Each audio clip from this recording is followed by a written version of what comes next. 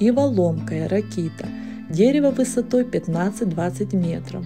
В диаметре достигает 1 метра. Крона шатровидная, широко раскидистая. Кора серо-бурого цвета с глубокими трещинами. Ветви прямые, немного поникшие, голые, блестящие, немного красноватого или оливково-зеленого цвета. После четвертого года жизни становятся ломкими у основания.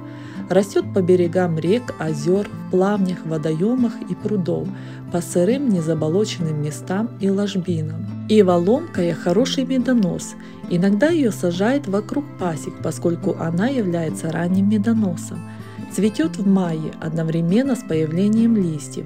Охотно посещается пчелами для сбора нектара и пыльцы. Медопродуктивность 100-150 кг с гектара.